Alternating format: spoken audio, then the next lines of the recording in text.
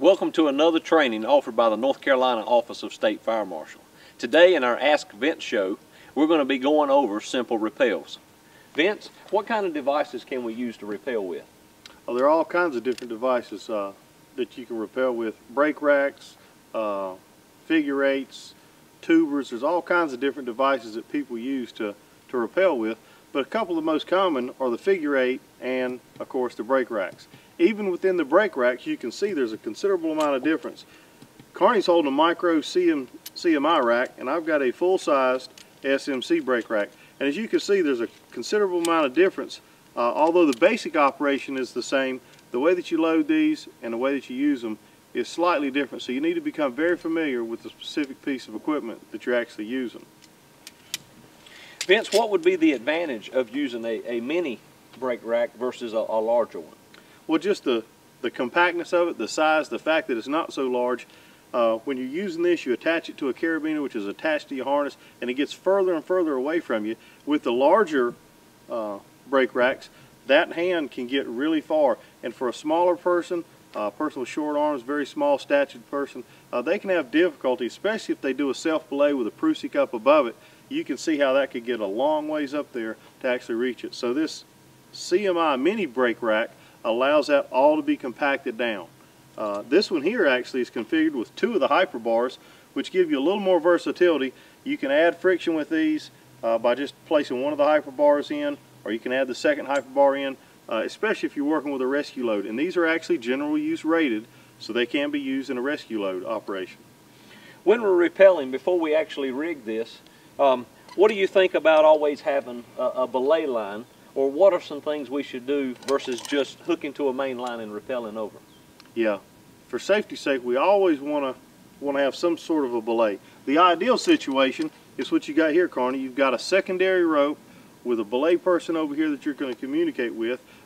Another option would be above, like I already spoke of, above the rappel device, whether it's a figure eight or a rappel rack, you could put triple wrap Prusiks, which you would mind with your hand on the way down. And if you were to slip and let go of it, of course, the idea is it would grab and stop your fall.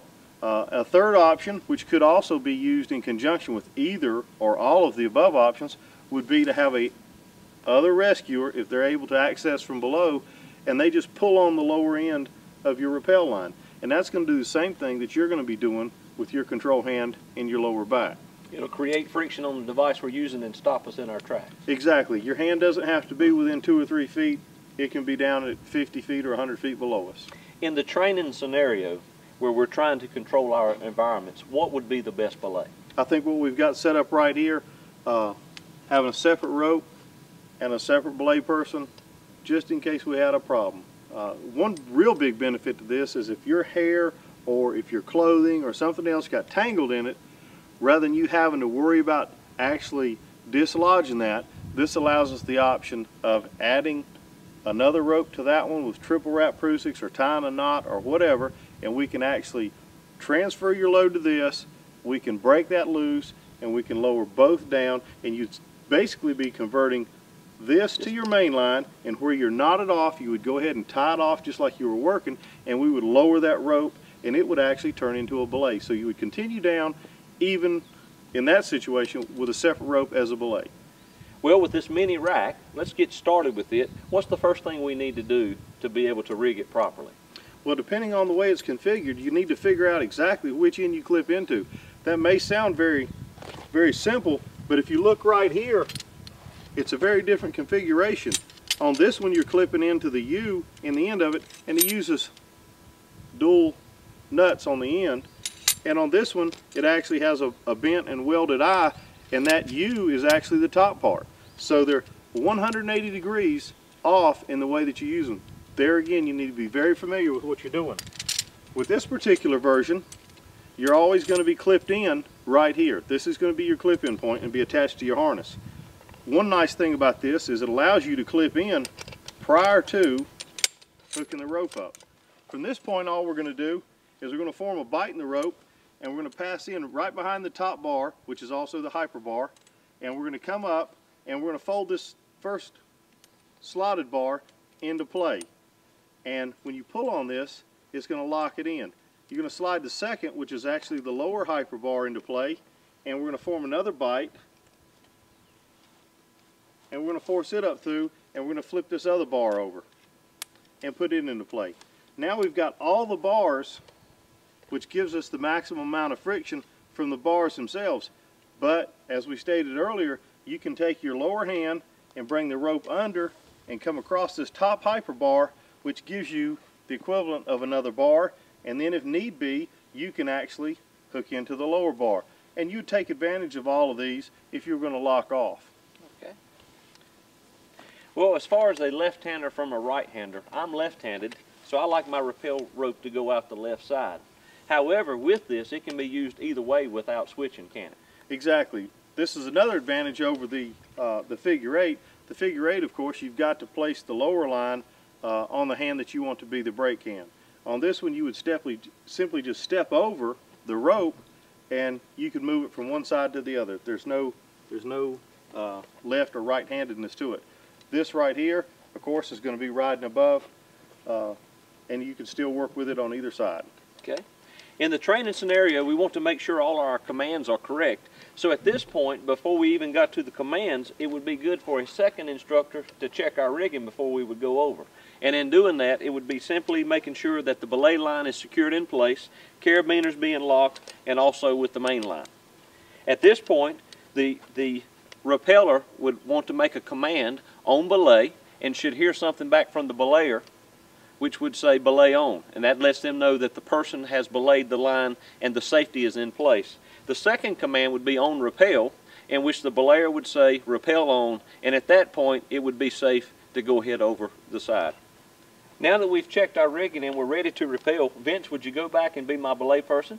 Sure will, Carney, no problem. On belay. Belay is on. And the slack is now taken out of the belay line, which is holding pressure on for my safety. On rappel. Rappel on. And at this point, it's time to have some fun.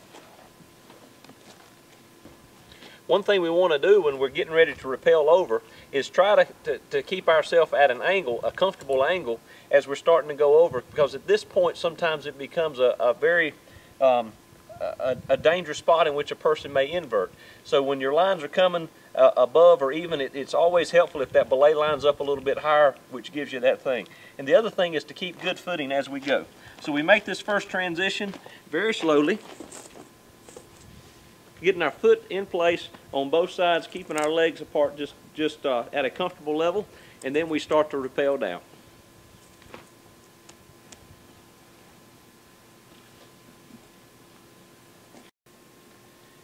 All right, earlier we showed you how we stop and lock off with a figure of eight. Now I'm going to go shoot, go through showing you how we do it with a mini brake bar. As you see, we have friction going through our, our brake bar, which is holding me in place, and I'm not having to use a lot of strength on the bottom of this rope with just my body weight. The way we're going to lock this off is I'm going to complete this round turn here around the bottom pin, come up to the top hyperlink, and the rope's going to go in place there, and then I'm going to come back across the bottom hyperlink and as I pull those together you'll see that all of this tightens up. Everything pulls together and it's putting friction in place which is going to hold my body in place.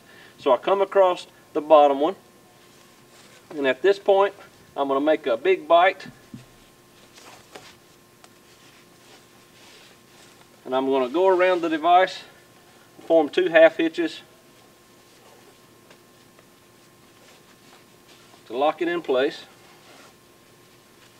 or I could do an overhand knot to lock it in place.